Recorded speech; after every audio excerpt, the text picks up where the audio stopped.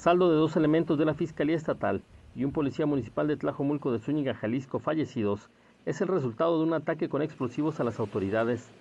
De acuerdo con información recabada en el lugar de los hechos, los elementos de ambas corporaciones se encontraban realizando una investigación cuando al llegar a las faldas del cerro conocido como Las Latillas en el municipio de Tlajomulco, los vehículos en que viajaban explotaron. Dicho atentado se adjudica a unas minas terrestres puestas en el lugar donde los elementos pasarían.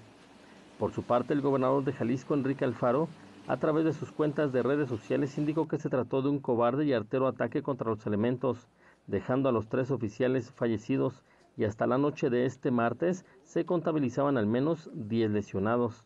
Finalmente, pues bueno, quedó confirmado el deceso de dos elementos de la Fiscalía del Estado, así como también uno de la Policía Municipal. Además, 10 personas eh, fueron eh, lesionadas hasta este momento, los registros que han llevado a cabo en los diferentes hospitales. Hasta el sitio arribó personal de los tres niveles de gobierno, así como también del Instituto Jalisciense de Ciencias Forenses, para realizar el levantamiento de indicios en el lugar mismo que quedó resguardado para continuar con las indagatorias en cuanto volviera a la luz del día. Luego de varias horas eh, de investigación en las faldas de este cerro conocido como Las Latillas, pues bueno, personal del Instituto Jalisciense de Ciencias Forenses, específicamente del área de balística, así como de la propia Fiscalía, pues bueno, eh, bajan ya de este lugar. Sin embargo, pues bueno, queda aún acordonada esta zona debido a pues las condiciones climatológicas.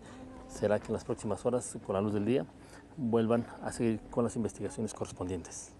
De acuerdo con versiones de vecinos, este paraje y el camino a la mina o el lugar conocido como Camino a la Mina es un lugar concurrido para caminatas por gente que le gusta realizar ejercicio al aire libre.